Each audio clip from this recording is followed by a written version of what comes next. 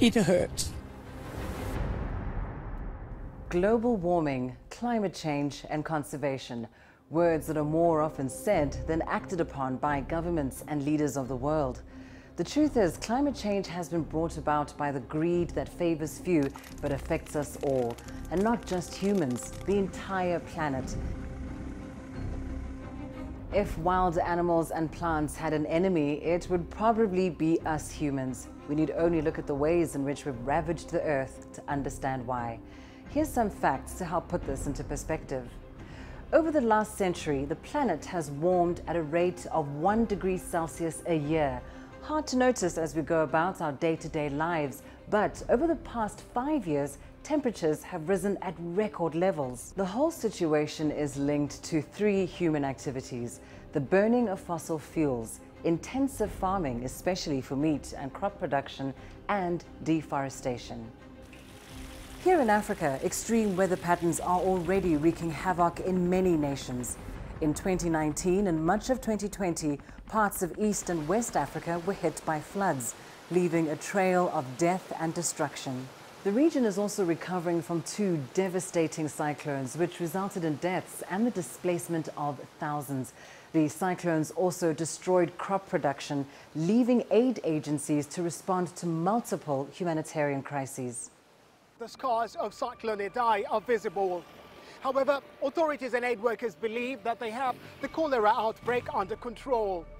A desert locust invasion that started in the Horn of Africa has added to the region's woes.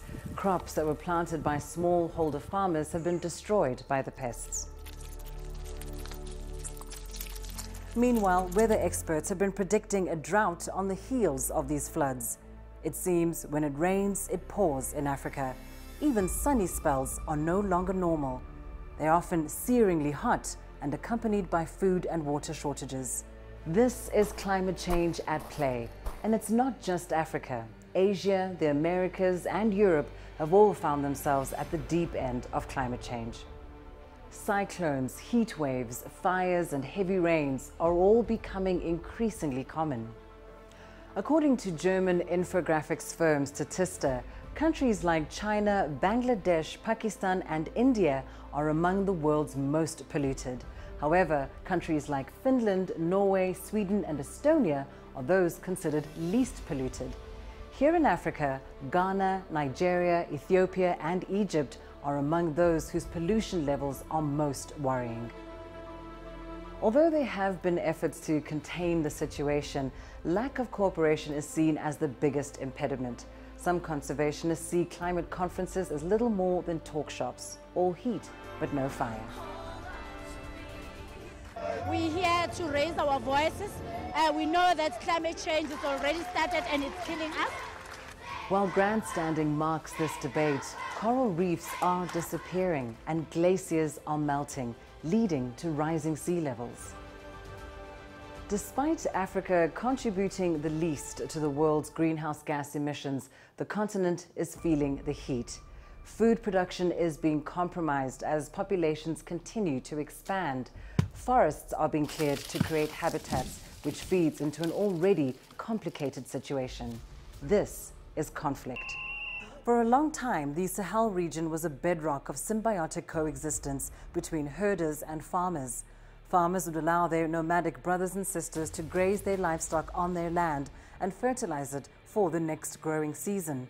But years of unfavorable weather patterns led to cycles of poor harvests. With dwindling food production, a conflict ensued. This is what has been exploited by Al Qaeda and ISIL to create a potent security threat. This has already claimed a regime in Mali and has influenced election outcomes in countries like Nigeria and Guinea-Bissau. We could list more and more climate change related cases and incidents.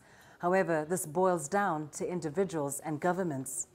Climate change poses a serious threat to the fundamental rights for all. It affects our access to food, to health, and compromises our quality of life for individuals and communities. It is thus our individual, national, and international responsibility to care for nature for us and future generations. The late Nobel laureate Professor Wangari Maathai once said, Mother Nature is very generous, but also very unforgiving. The reality is, if you destroy nature, nature could destroy you. If we are not careful enough and responsible, this could be practical in our lifetime. It would appear it has already started happening.